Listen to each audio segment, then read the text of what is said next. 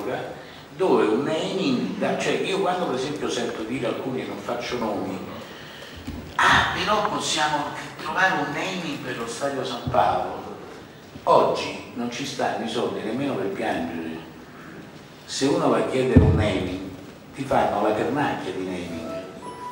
Allora sai, tu ti rendi conto anche che i tuoi interlocutori sono degli interlocutori, mio padre avrebbe detto ah, paziente rimane a creatura, no? Eh, allora prende atto, io ormai, perché amo molto questa città, amo molto i napoletani, come si diceva, non te ne curare passa avanti. Quindi, quindi dicevo Presidente, aggiungevo ovviamente hanno forte potere mediatico che li sostiene in ogni momento e hanno anche un sostegno arbitrale oggettivo che, che criticano loro, che li sostiene durante la stagione dei momenti difficili. La domanda è questa, nonostante tutto questo, il Napoli questo è capitato pure con la Roma ieri, mi pare di aver letto sì, stamattina sulla stampa. Nonostante tutto questo, il Napoli mi sembra sia... Cioè l'hanno arrivato da noi e hanno fatto un guaio da un'altra parte.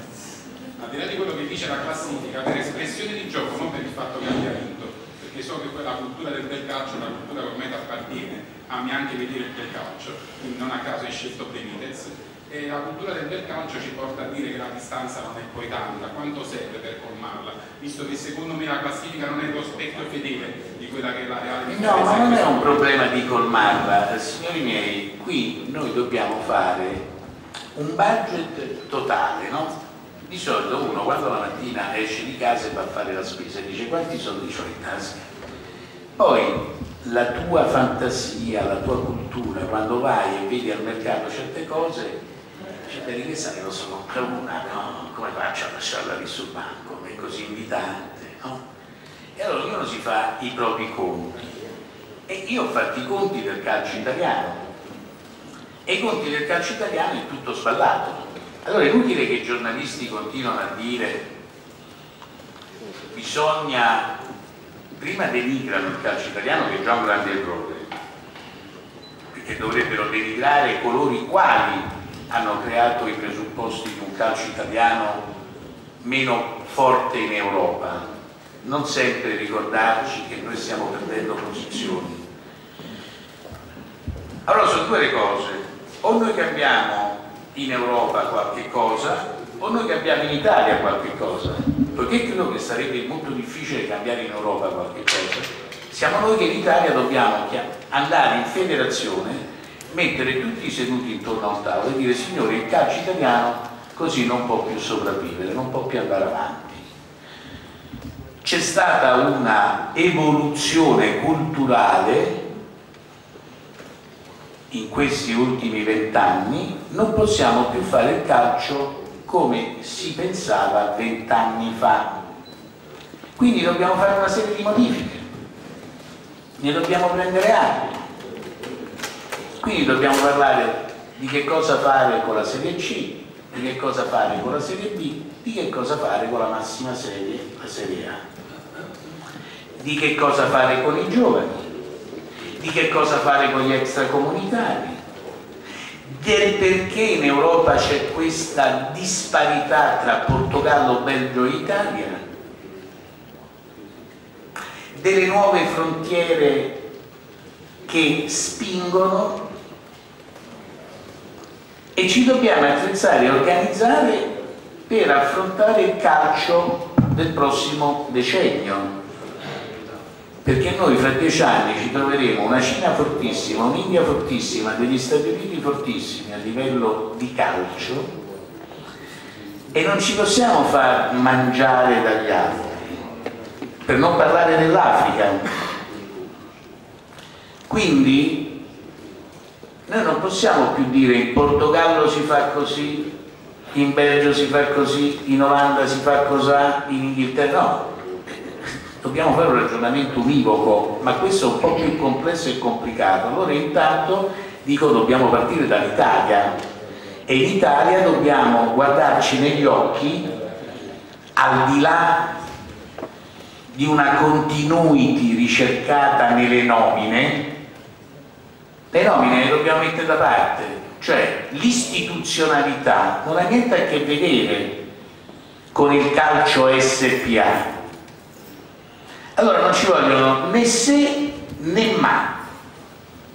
E né io voglio essere un radicale, ma voglio essere uno che dice una società per azioni ha queste esigenze.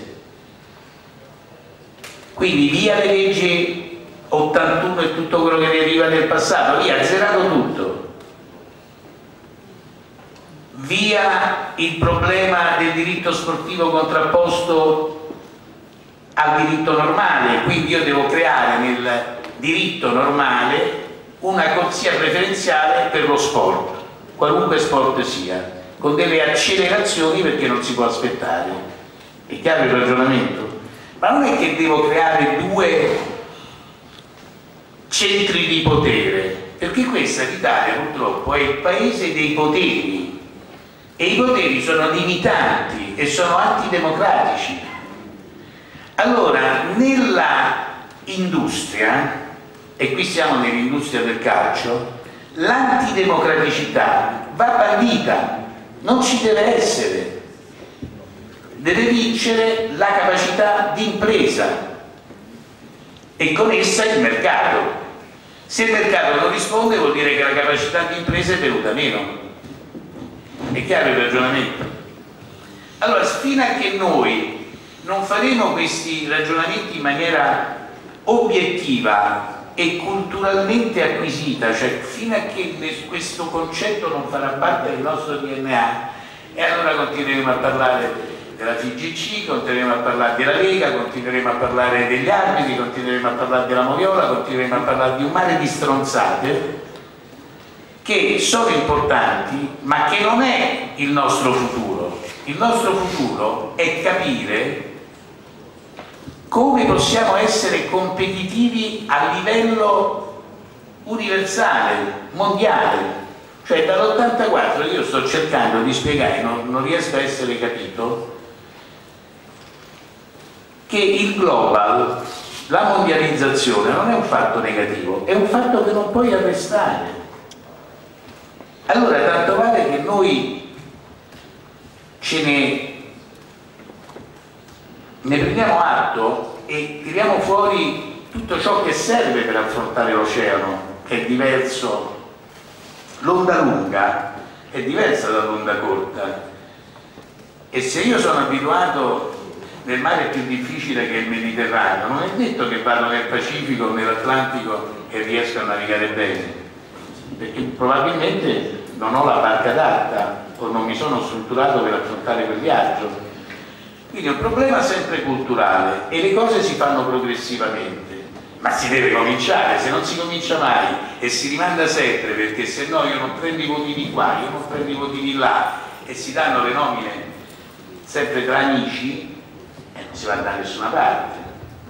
Vedete che Renzi ogni mattina dice io mollo e probabilmente mollo perché trovo un field ostile fatto di poteri che non riesco allora che faccio? io vi mando a quel paese poi andiamo alle elezioni e allora avrò l'87% degli italiani che forse mi voterà e a quel punto poi prendo in mano l'Italia e bisogna sempre fare questi atti di forza in questo paese cioè è molto strano tutto ciò no?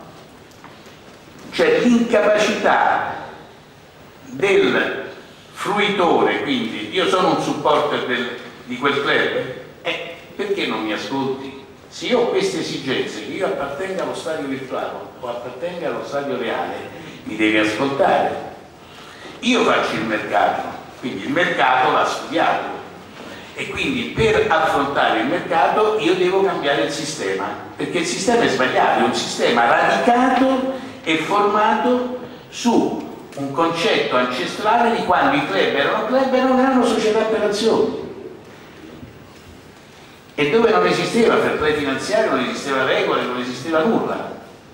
Ma non posso andare avanti con le regole di 1981, oggi siamo nel 14, 20 anni fa, 34, 33, quanti anni fa? Eh, ma vi rendete conto? Cioè basterebbe questo per dire, ragazzi, fuori dalle scatole tutti quanti, siete scaduti decaduti e scaduti, basta. Non vi, posso, non vi, si può mangiare perché ci prende un attacco di dissenteria. È chiaro il ragionamento? Eh, e ci disidrateremo. Allora, noi dobbiamo far tabula rasa e in questo mi dispiace bisogna essere radicali. Io non sono un radicale io sono sempre uno che cerca in maniera dialettica di risolvere i problemi. Però poi ti trovi di fronte ai muri i muri e i muri